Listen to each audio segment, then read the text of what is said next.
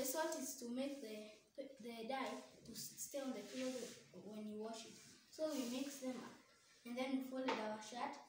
We took rubber band and we folded the clothes and put it, and then we put the dye in the water, any color. We used orange, white, blue, and other colors, and then we painted our shirts. Look at my friend and come with the way she looks.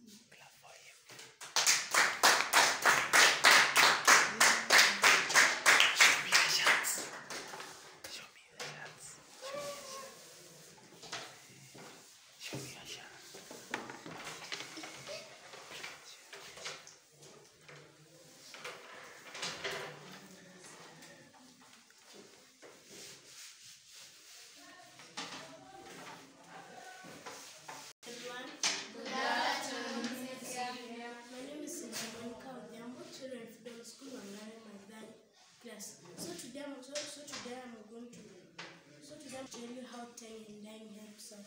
It it enhances children it enhances it enhances children creativity and it also and it also helps us not not to throw away old t-shirts. Refurbish we can refurbish them by tying and dyeing them.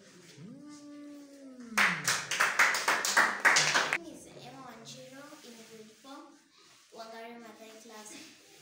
And I've learned how to tie and dye. I've learned how I've learned how even I've learned how to refurbish old clothes and and dye them in a pattern.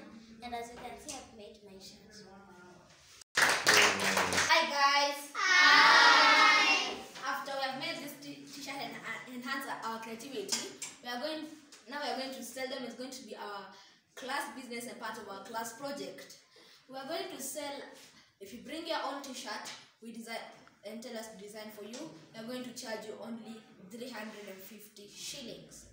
But if you don't have a t-shirt, then you can come to us and we'll charge you 750 shillings. And also we can design your t-shirt to your comfortability. Thank you. Yes. One last round.